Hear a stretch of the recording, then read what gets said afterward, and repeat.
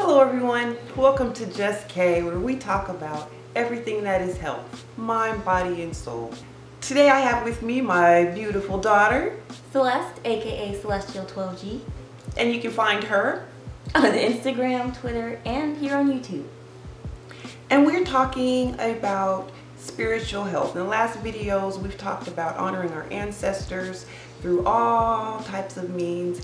And we talked about the stories of creation as a means to understand why we honor our ancestors. What do you think about that so far? Like, let's talk about that because you were raised with me and I have a very Aquarian view today on spirituality. Hmm. So how's that been for you growing up? Um, well, I feel like your Aquarian view on spirituality allowed me to find spirituality for myself. You didn't really force it on me. You just presented, you presented it, uh, Christianity, mm-hmm. Southern Baptist mm-hmm. to be more mm-hmm. specific. Mm-hmm. And you presented it, um, went to church a few times. It wasn't my thing. Mm-hmm. You didn't push it. Um, and then I kind of came into that spirituality on my own. Mm-hmm. So I feel like you allowed me to be free in my expression and my discovery on my spiritual journey. Okay. So, as you said, Christian, Southern Baptist, because that's the way I was raised. Mm-hmm. Now, for me, it's there was a huge difference in me in my Christianity than there is today. And because I was raised Christian and I therefore presented that to you, I want to know is there a difference from when we were practicing Christianity to how we practice today? And I'll tell you why I asked. In my last video, I was talking about how the stories of creation versus the Greek mythology versus the ancient Egyptian stories of creation versus the Bible all have discusses the same story, just different cultures, different names, different mm-hmm. backdrops. And so I'm just curious as to how, um, I know how it affected me. I want to know how that affected you. Fine. yeah. I, I don't have any complaints. Uh, I feel like we went on our spiritual journeys together in a sense. I mean, even though you allowed me to be free, like I was still under your influence. Mm-hmm. And so I was going to be Christian no matter what. I feel like like that's just that's just our vibe. That's something I find concerning mm. for other people out there. I think I've noticed in the younger generation, a lot of people are, uh, we'll say, woke mm-hmm. or waking up, mm-hmm. and they are in households where that has not occurred yet, mm-hmm. right?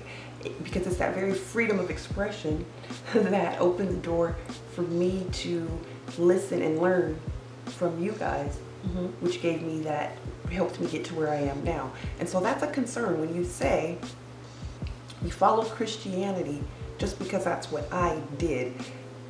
And I know that in my household it was no it wasn't a choice. Yeah. And so the concern is that we are stifling people from being spiritually healthy. And you know, I feel that spiritual health is, is one of the most integral part of physical body health. I agree, but I also think whether you were Christian or you practiced Hinduism or you mm-hmm. practiced mm-hmm. Muslim, like it, it didn't really matter mm-hmm. because that was just the household I grew up in and right. that was just the influence.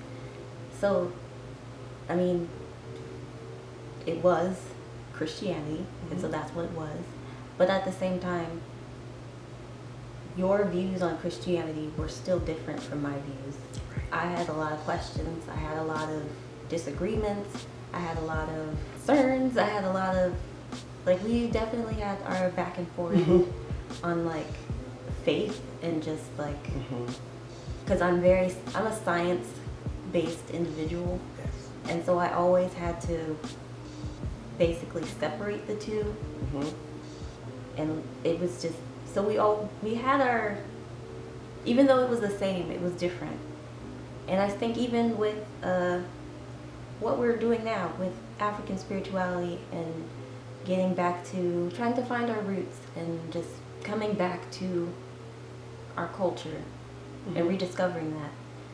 You have your views, Mhm. and then I have my views. We don't disagree, definitely, not as much Mhm. as we did with the Christianity thing. And that's, I feel like Christianity was so, there's so many rules. And there's so many, like, you can do this, you can't do that. If you do this, you go to hell. If you, you're gonna go to hell anyway because blah, blah, blah. And it was just like, it was a lot. And so then with this, it feels more like freeing in that we're kind of like deciding, deciding what we Right. we're like picking and choosing, and it's more like a spirituality based rather than a strict religion, Right. and I like that.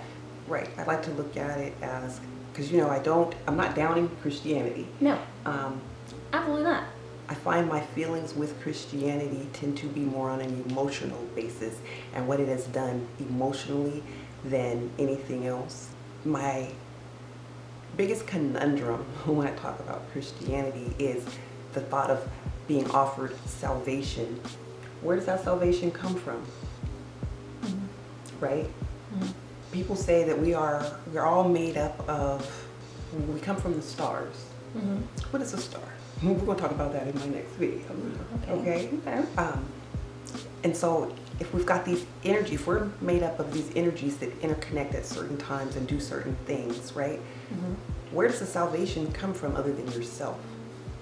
And that was the thing that brought me home to being more conscious of being spiritual in the way my ancestors were.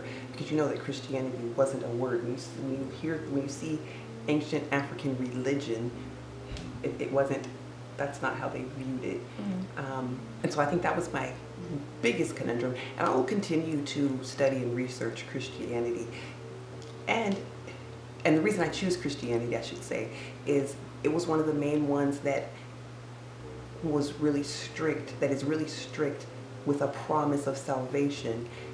But Especially Southern Baptist. Right, right.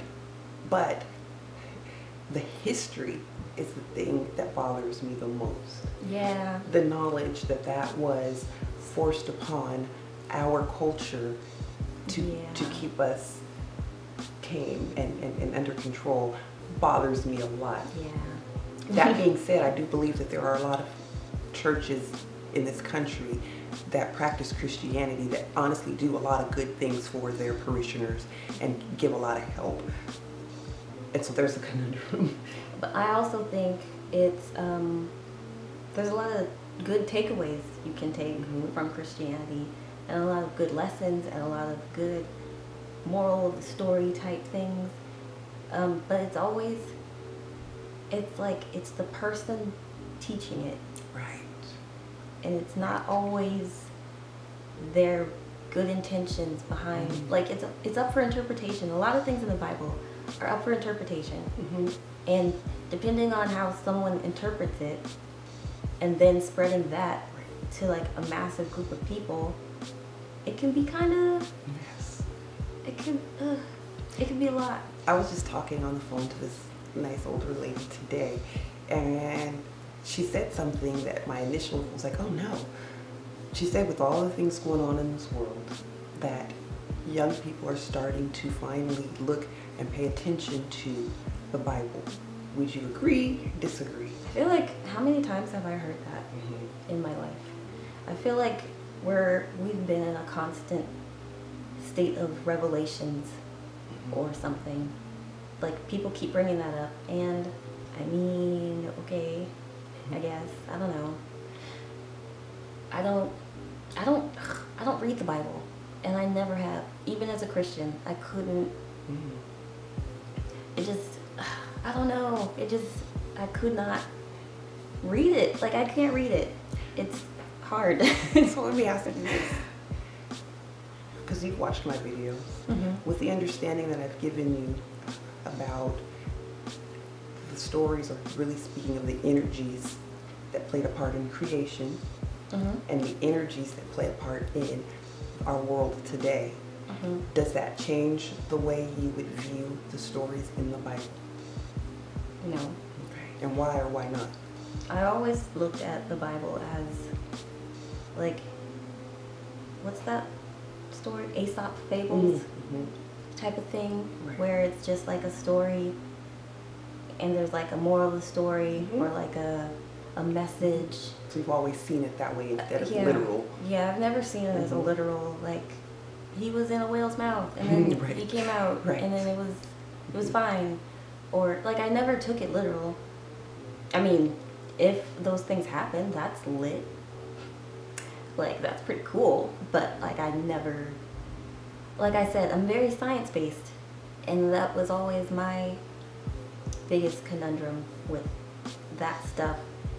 And so with with other cultures, I feel like it's a little easier even for me to understand because I feel like they don't take it so literal. They take these people as aspects of something in order to understand or better like comprehend something, whether that's creation or if that's like the weather or whatever. Like they took these people to like better understand and like Mm-hmm. and I, I to me that makes sense like yeah i can see that and so i don't know That does that doesn't change it hasn't anything. changed anything okay, that makes that's cool. I do these videos heartfelt yeah because it's so important to me that us as a culture, or us as a people all together, we are okay as the world awakens to all of these things going on. Mm-hmm. And I feel like there are people who exercise like crazy, but have horrible diets and don't think about their spirituality and consider themselves healthy. I feel like there are people who have great diets but don't exercise and don't think about their spiritual health and feel like they're completely healthy. Um, you know, health wise, I've been through the ringer quite Yeah. for the for some years, Yeah. and I wanted to help people. A, I want to help prevent some people from going through all of the things I've had to go through. I want people who are having children, I want their children not to have to be told over and over again through their childhood, like you, to have to expect and wait and, and be on edge waiting for their mother to pass away. I want us as a nation to ride this, the, these things going on, these natural forces going on, and to come out truly healthy, happy, and prosperous. So my question to you is, ask someone coming from the younger generations, how do you view my videos? Not as my mother. I mean, as my, she is my mother. Not as my daughter, but as just say you're just coming on and watching the videos, and I know it's I'm, I'm asking a lot, asking you to not be partial, but yeah uh, how do i feel about your video like so in the content in general, is it do I do it in a manner that your generation can understand?